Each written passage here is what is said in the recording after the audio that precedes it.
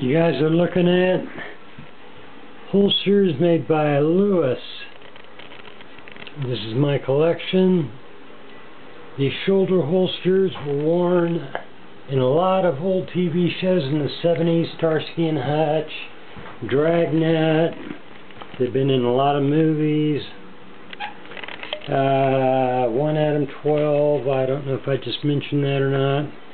Lewis is out of business. You can barely ever find these anywhere, and when you do, they are very, very expensive.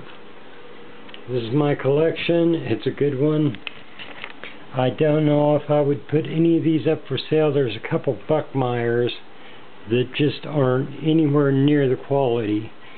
The rest of these are Lewis holsters.